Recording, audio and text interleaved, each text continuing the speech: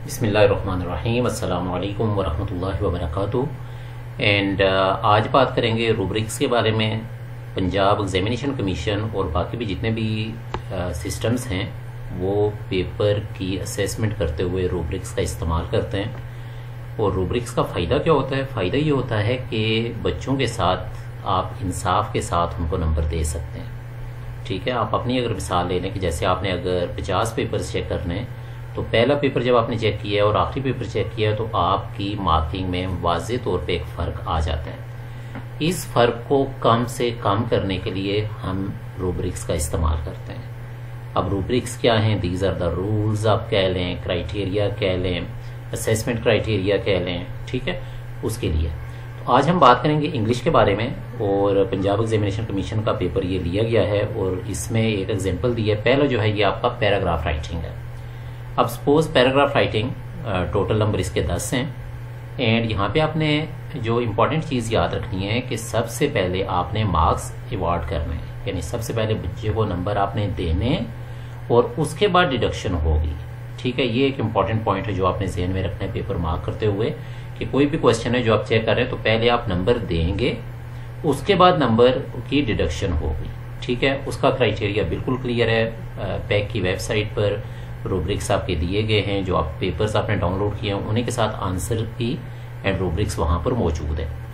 पहला question paragraph writing तो इसमें से आपने मार्क्स कैसे देने हैं? पहली बात आपने ये याद रखनी है कि irrelevant content will not be marked ठीक है, कोई भी ऐसी है स्टोरी है इरेलीवेंट है तो सिंपल आपने उसको क्रॉस करके या लाइन लगा के उसके साथ लिखते हैं इरेलीवेंट और जब इरेलीवेंट लिखेंगे तो इट मीन्स आपने उसको ज़ीरो मार्क्स अवार्ड करने उसका कोई नंबर नहीं होगा।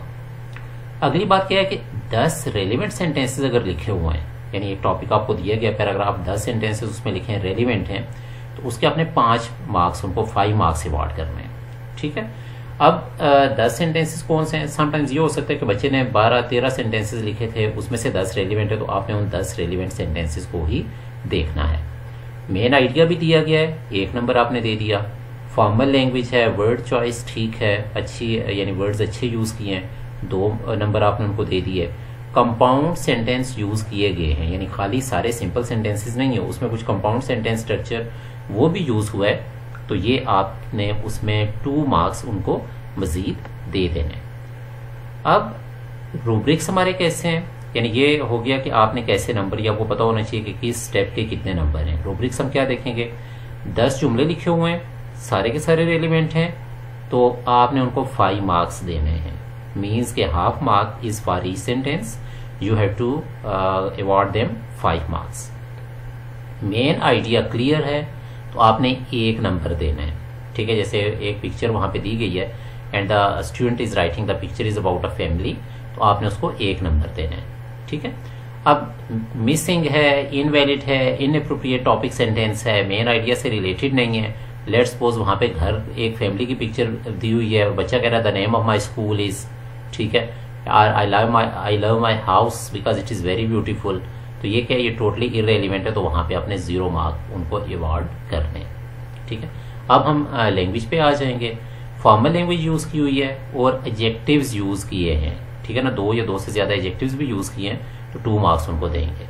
फॉर्मल लैंग्वेज है, और एक एजेक्टिव है तो अब हमने एक नंबर उनको देना है, ठीक है? इनअप्रोप्रिएट लैंग्वेज है एजेक्टिव यूज़ नहीं किए हुए नाउन फ्रेजेस वगैरह ये नहीं है एडवर्ब्स नहीं है तो उसमें फिर आपने ज़ीरो मार्क्स अवार्ड कर रहे हैं। ठीक है? अब अगले हम कंपाउंड सेंटेंस स्ट्रक्चर की तरफ़ चले जाते हैं। तो कम अज कम एक कंपाउंड सेंटेंस स्ट्रक्चर उन्होंने यूज़ किया है। जैसे एक एग्ज़ाम्पल दी हुई है the picture is about a family and all of them look happy तो ये क्या हो ये दो नंबर दे दिया आपने पूरे के पूरे। क्यों? क्योंकि एंड लगा के आपका कंपाउंड सेंटेंस इसमें यूज़ हुआ है। ठीक है? सिंपल सेंटेंसेस लिखे हैं तो आपने एक नंबर देना ये देखिए यहाँ पे फुल स्टॉप लगाया गया और उसमें आ, उन्होंने मीन्स के उसको एंड लगा के इसको कंपाउंड सेंटेंस नहीं बनाया। तो आपने क्या करना उसको? वन मार्क्स अवार्ड करने ठीक है? अब है कि उन्होंने सेंटेंस सिरे से बना ही नहीं है। For example the family happy the family looks happy इसी तरह यानी प्रॉपरली सेंटेंस नहीं बना फ्रेगमेंट्स यूज़ किए हैं तो अब आपने ज़ीरो मार्क्स अवार्ड करने हैं। तो यहाँ तक जितनी हमारी बात हुई है ये आप नंबर दे रहे हैं। ठीक है ना? ये बात क्लियर कर रही है। थोड़ा सा पॉइंट है कि समटाइम्स आपको कंफ्यूज भी कर सकता है। पहले मार्क्स आपने देने हैं उसके बाद डिडक्शन करेंगे ये सारे नंबर आपने अभी अवॉर्ड किए हैं। अब आगे आ जाते हैं डिडक्शन ऑफ़ मार्क्स तो डिडक्शन आपने ये याद रखना है कि थ्री मिस्टेक्स चाहे पंचुएशन हो ग्रामर हो स्पेलिंग हो, वहाँ पे कोई मार्क्स डिडक्ट नहीं होंगे। चौथी गलती होगी तो उसमें आपने मार्क्स डिडक्ट करने ठीक है? चार गलतियाँ हैं। एक स्पेलिंग की आ गई है पंचुएशन की आ गई है, दो ग्रामर की आ गई है। तो इट मीन एक नंबर आपने काटना है। ठीक है? अब अगली क्या है? कि जो कैपिटलाइजेशन के एरर्स हैं, वो किसमें होंगे? वो पंचुएशन एरर्स में ही चले जाएँगे। ठीक है? फिर इसी तरह दो नंबर से ज़्यादा नहीं काटने सपोज़ चार गलतियों हुई, आपने एक नंबर काटा।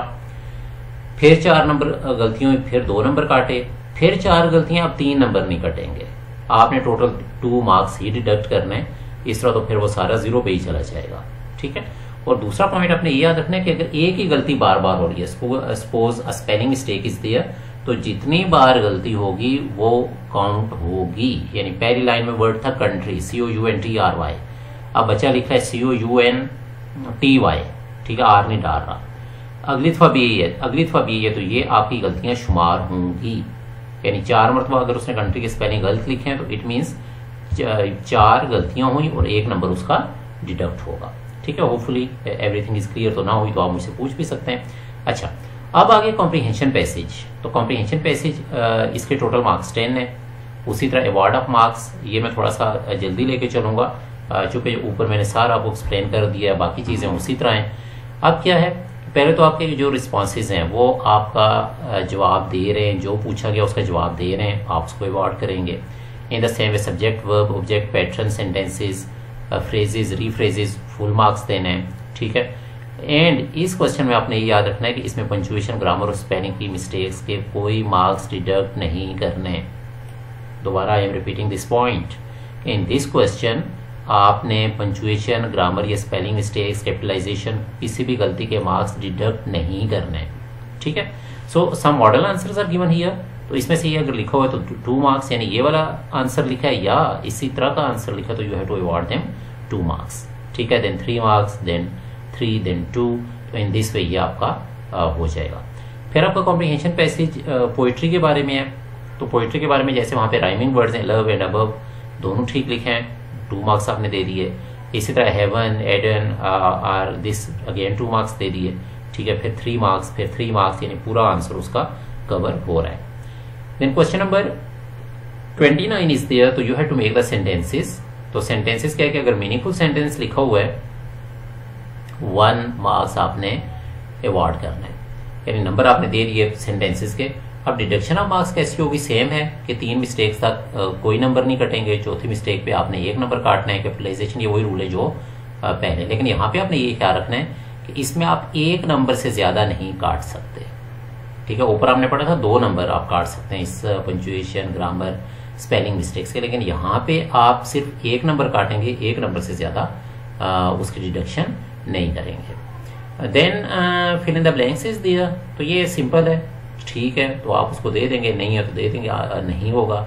आंसर्स आपके दिए हुए हैं। अब एक इंपॉर्टेंट चीज़ आपने जो याद रखनी है वो ये रखनी है कि पेपर चेक करते हुए आपने ये साइंस यूज़ करने हैं या ये नोटेशन यूज़ करनी है। ठीक है? First one if it is correct you have to take mark that tick लगा दें। गलत है तो क्रॉस लगा दें। अब जैसे हमने ऊपर किया था कि हमने ये देखना है कि उसने एजेक्टिव यूज़ किया है एडवर्ब यूज़ किया है कंपाउंड सेंटेंस यूज़ किया है। ठीक है? अब कंपाउंड सेंटेंस यूज़ हुआ हुआ है, आप उसके नीचे अंडरलाइन कर देंगे। क्या मतलब है कि एक सिग्निफिकेंट या इंपॉर्टेंट पॉइंट जो हम that was the part rubric वो वहाँ पर फुलफिल किया गया है। एजेक्टिव यूज़ हो रहा है, उसके नीचे आप अंडरलाइन कर लेंगे। ठीक है? Then this squiggly line is there ये वाली जो दी हुई है। तो इसका ये मतलब है कि ये इनकोरेक्ट है। यानी समटाइम्स होता है ना, हमें लग समटाइम्स स्पेलिंग्स लिखे हुए हैं या सेंटेंस स्ट्रक्चर आपको अजीब सा लग रहा है, उसका कोई मीनिंग नहीं बन रहा। तो we have to put this line ठीक है? फिर उसके बाद S P this is the spelling error and then P U N C punctuation error G R grammar error and the same way this sign is there तो इसका क्या मतलब है? कोई चीज़ मिसिंग है। यानी maybe the person is the child is or the student is writing he my friend he my friend तो अब आप क्या करेंगे? आप उसके ऊपर ये साइन डाल देंगे। इट मीन्स कि यहाँ पे इज़ नहीं लगा हुआ होना क्या चाहिए? ही इज़ माई फ्रेंड ठीक है? तो इस तरीके से आपने ये पेपर मार्क करने हैं। स्पेशली एक तो यह कि नोटेशन का इस्तेमाल लाजमी करना है। और दूसरी बात यह है कि आपने उसमें जो इम्पोर्टेंट चीज़ है वो ये है कि आपने आ, इसको सारे सारे पॉइंट्स सेन में रखने हैं। इनका इस्तेमाल करें। और अगली चीज़ यह कि पहले आपने मार्क्स अवॉर्ड करने हैं एंड देन आपने मार्क्स डिडक्ट करने हैं। ठीक है जी? And so if there is any confusion papers के लिहाज से तो my I am writing here my contact number let me write it here okay this is the double zero nine two three four five nine seven double four double seven one so this is the contact number and uh, you can whatsapp here.